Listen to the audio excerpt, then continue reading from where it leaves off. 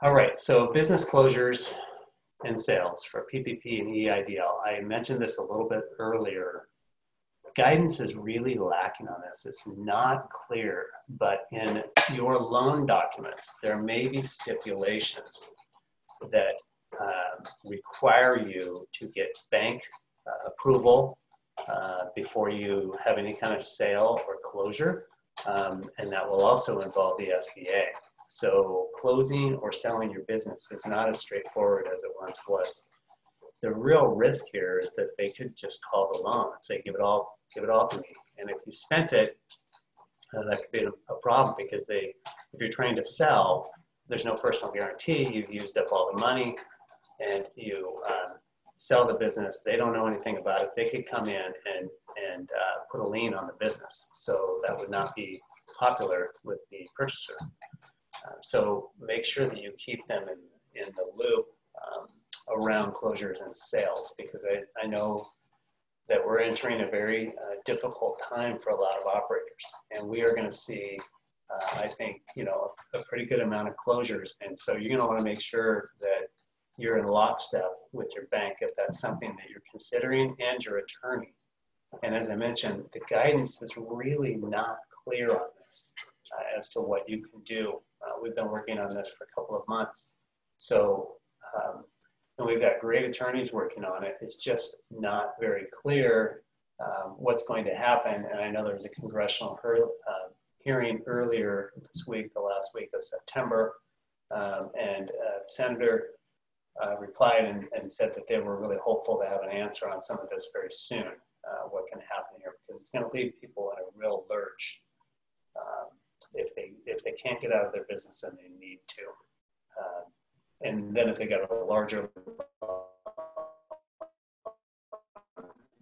um, above the 200,000 that involves a personal guarantee, uh, that becomes particularly sticky at that point. So um, Lisa, um, have you received more questions regarding PPP and EIDL? Yes. Um, if one of the questions is if we got a grant before the PPP that means that the PPP is not forgivable even if you meet the other criteria? The amount of the grant is not going to be forgivable. So if you've got $10,000 grant, uh, that's going to come right off the top of the EIDL or the uh, PPP loan application and not be forgivable.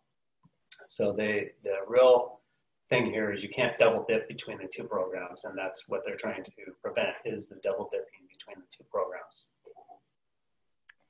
And the next question, uh, does the deductibility status change after the PPP is converted to a loan? Mm, I'm a little bit unclear on the deduct. Oh, the deductibility as far as uh, the expenditures go.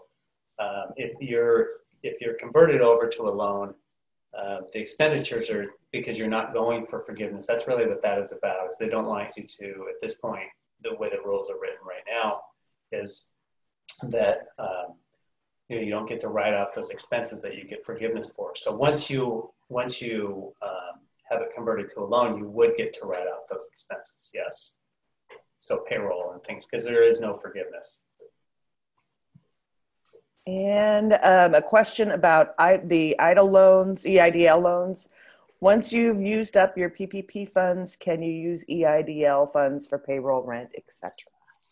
Yes, from what I've seen, it, it is a it is a working capital loan, and once you have uh, used up your PPP loan, you should be able to use those um, EIDL loans to keep going. It's really that those loans. The great thing about them is they're really meant to get you through an economic injury. So it's it's whatever you need for working capital to keep the business going. They don't want the business to fail and they propped it up with the PPP. They're coming in over the top at the EIDL to make sure that you can get through this economic injury because it's severe, as you know, uh, especially in our industry. So those loans are really meant to uh, be working capital loans. Once the PPP money runs out, um, you should be able to use those for the same things to keep the business going. Okay, those are all the questions we have for now. Okay. All right, so let's talk about what happens after EIDL and PPP.